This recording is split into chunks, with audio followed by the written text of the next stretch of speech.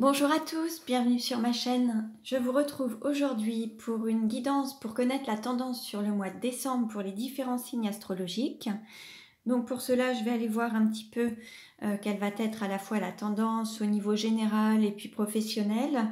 Euh, je vous invite à consulter les vidéos concernant vos ascendants et signes lunaires pour avoir des compléments d'information. Vous retrouverez la liste des oracles utilisés dans le descriptif de la vidéo. Alors, on commence. Alors, pour qui allons-nous faire la guidance du mois de décembre? Quel signe astrologique?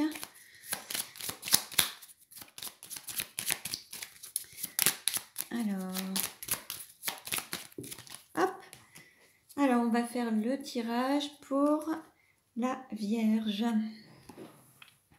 Donc, les personnes du signe de la Vierge, de l'ascendant ou du signe lunaire. Hein. Alors, on va voir déjà quels sont les messages pour les Vierges pour le mois de décembre. Quel message pour les Vierges pour le mois de décembre? Ah, on a trois cartes qui ont sauté. Alors, on nous dit je suis créatif, je suis en paix et j'apprécie la beauté des choses. Donc là, à travers la créativité, on peut avoir des vierges qui ont des projets et qui vont pouvoir peut-être les concrétiser. En tout cas, on a aussi des personnes du signe de la Vierge qui vont avoir peut-être, euh, qui vont se reconnecter à leur intuition, à cette énergie yin, cette énergie créative.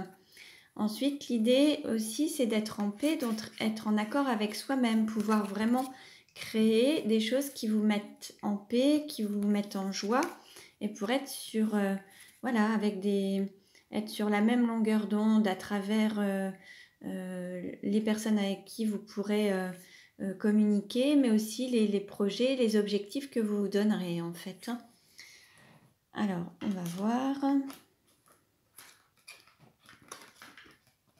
On a une paix intérieure euh, par rapport à certains projets, mais une paix aussi euh, par rapport à vos relations. Alors, comment je vais pouvoir mettre tout ça? Hmm. Voilà.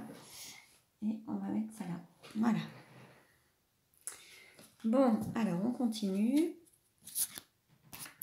Alors, quel message pour les vierges sur le mois de décembre? Quel message pour les vierges sur le mois de décembre? Alors, on a avec le nombre 17 la carte crapaud, un mal pour un bien, remède, potion. Donc là, il y a peut-être des personnes du signe de la Vierge qui vont peut-être vivre certaines situations euh, qui leur paraîtront peut-être difficiles ou compliquées, mais qui tout compte fait leur permettront d'évoluer ou d'avancer euh, sur leur chemin et leur permettre d'être vraiment euh, comment dire, peut-être de se donner naissance ou naissance à leur projet. Parfois, on a des difficultés, on a des choses qui ne se font pas, et en fait, c'est parce que derrière, il y a quelque chose de mieux qui vous attend. Donc, parfois, il y a des choses je pense à certains qui auraient pu postuler à certains postes ou dans certaines entreprises. Euh, ça pouvait être leur rêve, leur désir. Et puis tout compte fait, il y a un refus de leur candidature. Mais c'est parce que derrière, il y a un projet professionnel qui se présente et qui est encore plus intéressant, plus rémunérateur, plus épanouissant. Alors je vais vous lire un petit peu le texte qui correspond à la carte numéro 17.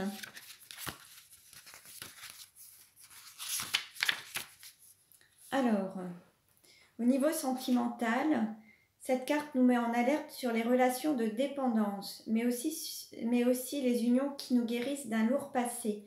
Elle peut aussi signifier une rupture salutaire, une libération. Au niveau professionnel, elle annonce un dénouement positif, la réponse à une demande. Elle peut aussi exprimer les attentes récompensées, la réussite d'un dur labeur. Au niveau spirituel, elle annonce le besoin de nous reconnecter à des énergies naturelles, de nous nourrir des bienfaits de la nature. Cette carte peut aussi nous orienter vers la médecine naturelle. En fait, il y a durant ce mois de décembre, il va peut-être y avoir des choses négatives qui vont déboucher sur des finalités positives en fait. Vous aurez à la fois la capacité de créer la solution face à une problématique. Voilà, allez, je vais prendre des compléments d'information avec les runes Alors, quel message pour les vierges sur le mois de décembre? Quel message pour les vierges sur le mois de décembre?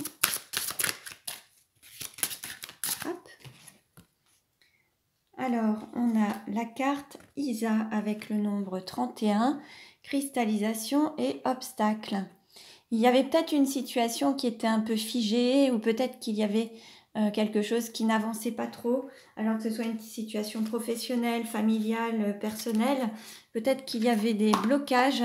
Et là, en fait, euh, sur le mois de décembre, vous allez peut-être réussir à sortir de, ces blocages. Hein, alors, on va voir, je vais vous lire le texte. Alors, on nous dit, cette rune indique l'unité, la cristallisation, l'amplitude, le retour à soi, l'harmonie intérieure. Isa peut symboliser l'égoïsme et la solitude.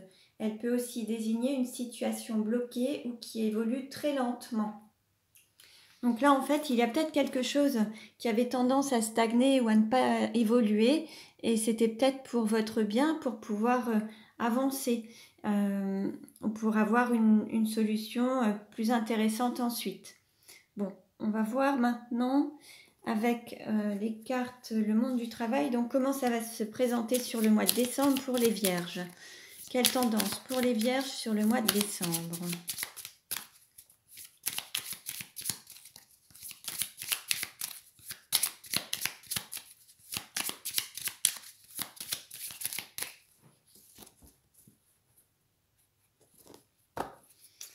Alors au niveau de la coupe, parle de sécurité de retraite.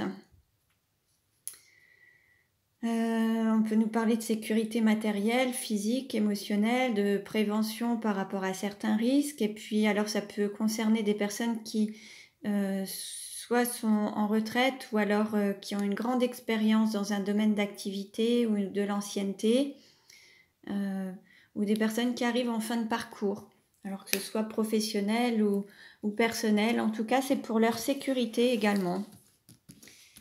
Alors, quel message? Alors, quelle carte représente les vierges sur le mois de décembre? Quelle carte représente l'argent? Quelle carte représente le cours ou la formation? Quelle carte représente la maison ou l'intériorité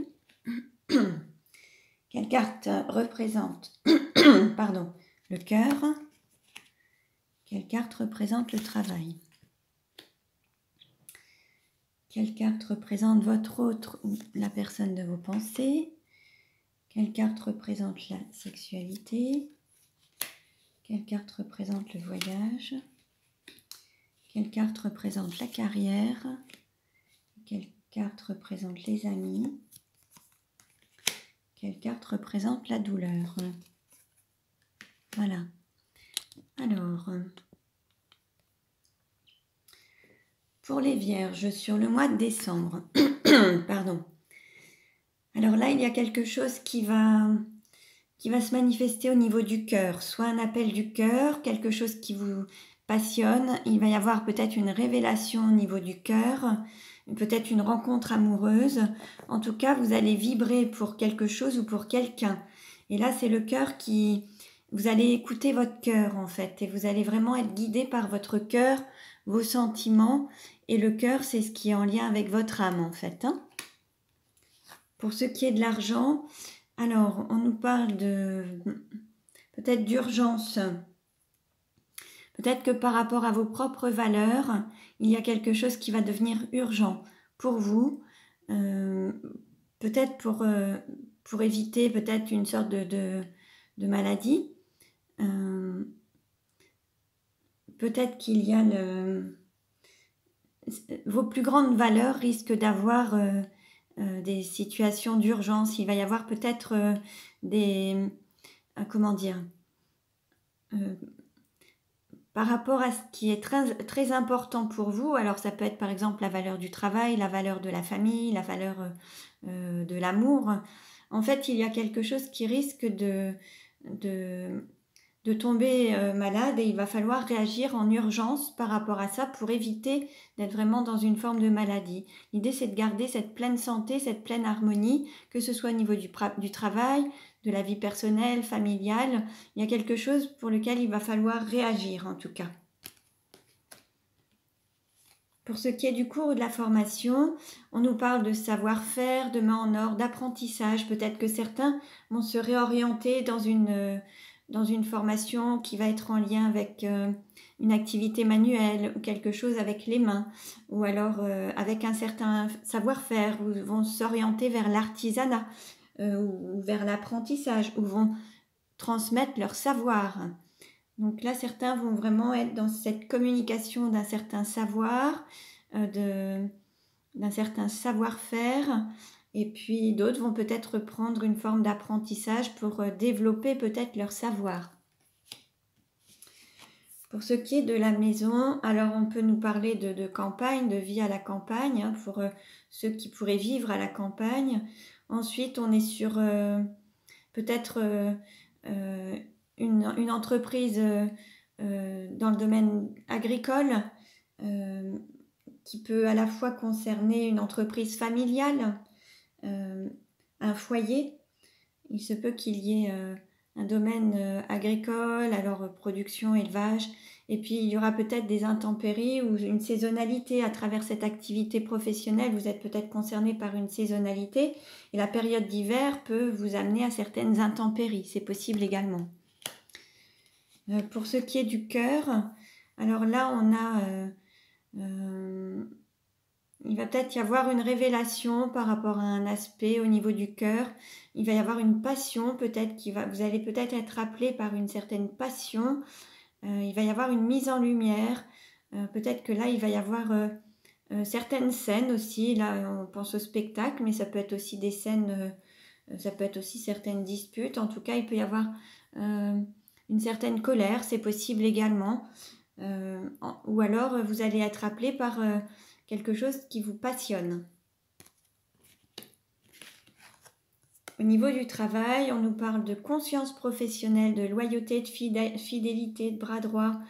Euh, alors certains vont peut-être travailler avec les animaux, euh, d'autres vont être fidèles euh, avec une certaine conscience professionnelle. Alors ça peut être par rapport à, une activité professionnelle. Peut-être que certains ont toujours exercé dans ce domaine et, et restent dans cette activité par l'amour de leur métier ou, une fidélité ou une loyauté alors par rapport à, un lien familial, à un lien professionnel, à une entreprise. Voilà, en tout cas, là, il y a une sorte de conscience professionnelle qui, qui est là, en tout cas. Et, fidèle à soi-même également. Aller vers ce qui vous plaît, ce qui, ce qui vous correspond, d'être loyal envers vous-même. Pour ce qui est de votre autre, alors on nous parle d'avocat, assistance, conseil, soutien, médiation, service juridique, législation. Euh, certains alors euh, pourraient avoir affaire à un avocat, euh, sont peut-être alors votre autre est peut-être dans un milieu d'avocat, travaille peut-être dans ce domaine juridique, cherche peut-être à trouver une sorte de médiation. il y a peut-être une union, il va peut-être y avoir un contrat un contrat par rapport à des avocats, il va y avoir peut-être des, un contrat de mariage ou quelque chose qui peut vous, amener à vous unir avec des liens du cœur. Ou alors, euh, vous pouvez peut-être faire appel à un avocat pour, euh, par rapport à, un accord du cœur ou, une relation amoureuse en tout cas. Euh, pour ce qui est de la sexualité, là on parle quand même de panier de crabe, de jalousie, de critique, de malveillance. C'est pas ce qu'il y a de plus. Euh, c'est pas ce qu'il y a de mieux là par rapport à ça. Hein. Il peut y avoir euh, un entourage, vous pouvez être dans un panier de crabe, il peut y avoir des mensonges, il peut y avoir des choses qui, ne sont pas vraiment au mieux de leur forme. On va dire que là la sexualité c'est pas tellement ça. Hein. Pour ce qui est du voyage, alors, au niveau du voyage, on nous parle de, déplacement. Alors, peut-être pour euh, transmettre peut-être un savoir-faire ou un artisanat vers, euh, euh, pour que ça prenne de l'ampleur et de, plus de, de, pour aller le distribuer autrement. Peut-être qu'il va y avoir quelque chose qui va s'agrandir ou alors vous allez vous réorienter vers quelque chose de plus... Comment dire avec un côté artisanal, avec une créativité ou quelque chose de plus concret, et vous allez sortir d'un domaine plus superficiel peut-être pour aller vers quelque chose de plus concret, matériel. Euh, vous allez peut-être sortir euh, d'une mentalité où on ne voit que la rentabilité pour aller vraiment vers quelque chose où il y a de la valeur par rapport à ce qu'on fait. Après, euh, il peut y avoir une sorte de collaboration entre les supermarchés et les métiers, les artisans, les commerçants vous allez trouver un peut-être un compromis, il va peut-être y avoir un déplacement peut-être pour valoriser vos biens à travers les supermarchés ou à travers euh, la grande distribution. En tout cas, il va y avoir une dimension euh, supérieure qui va être prise par rapport à un déplacement. Un déplacement va être fait pour euh, valoriser peut-être votre activité en tout cas. Il va y avoir quelque chose qui va un déplacement pour augmenter votre rentabilité. Au niveau de la carrière, là on nous parle de, savoir, de connaissances. Euh, alors il y a peut-être justement cette transmission des savoirs.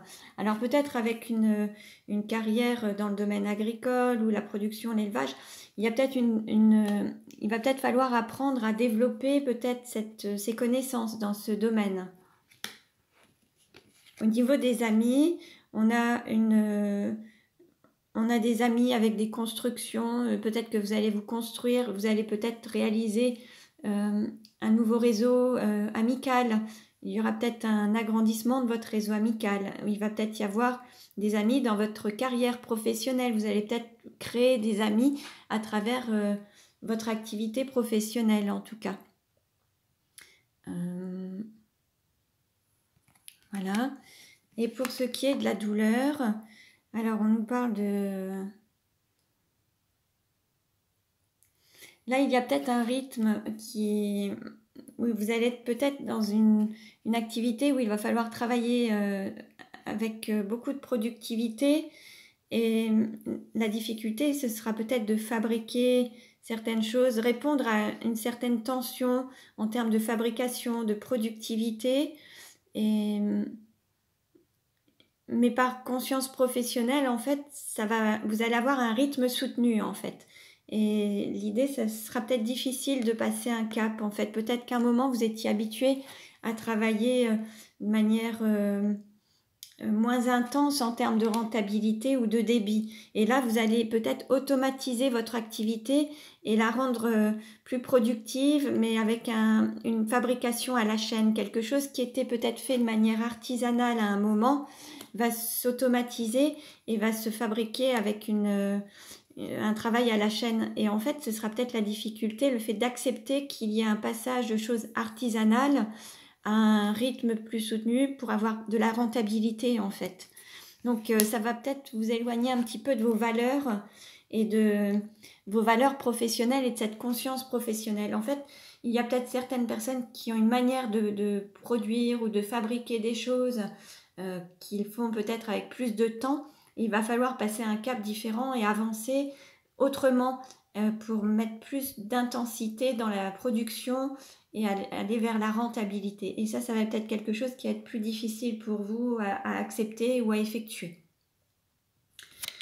Donc voilà pour les personnes du signe de la Vierge. Donc cette guidance, je vous invite à aller consulter les vidéos pour euh, connaître des informations complémentaires par rapport au signe lunaire et puis à vos ascendants. Vous pouvez avoir une guidance personnalisée si vous le souhaitez en me contactant. Mes coordonnées sont dans le descriptif de la vidéo. Donc euh, je vous remercie pour votre écoute. Je vous dis à très bientôt et prenez bien soin de vous.